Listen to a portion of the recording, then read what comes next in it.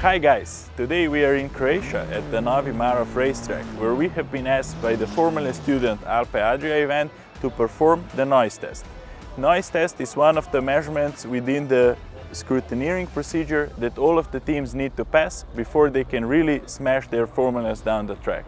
It was exciting to see all the different advanced engineering solutions that were developed by the young aspiring minds behind the teams all from around Europe. Automotive measurement applications are one of the key areas for Dewesoft measurement solutions, so of course we are very proud to be a sponsor of such great event. Now for some years we have also been supporting two of the engineering teams from the universities in Slovenia and behind me you can see one of the race cars called Eli that was developed by the Grand Prix engineering team of University of Maribor.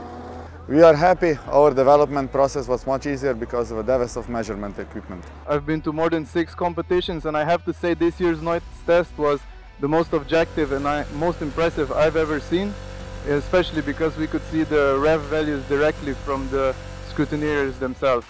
This year's event has been an absolute blast and we are already excited about the next one.